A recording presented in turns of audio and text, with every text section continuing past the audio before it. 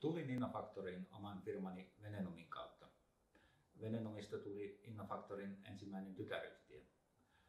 Innofaktor sijaitsi silloin Innopolissa ja Venenum siinä tekniikantien toisella puolen teknologiakylässä. Venenumin toimistoa kutsuttiin Barcelonan haarakonttoriksi, koska pienessä huoneessa oli tietokoneiden ansiosta varsin lämmin. Olen viihtynyt Innofaktorissa, koska olen saanut tehdä hyvin monipuolisesti.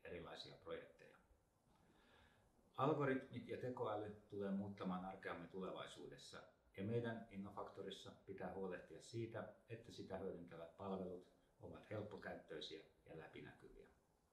Innofaktorin matka on ollut jatkuvaa ylämäkeä, se on välillä raskasta, mutta ylhäältä on komeat maisemat ja polku.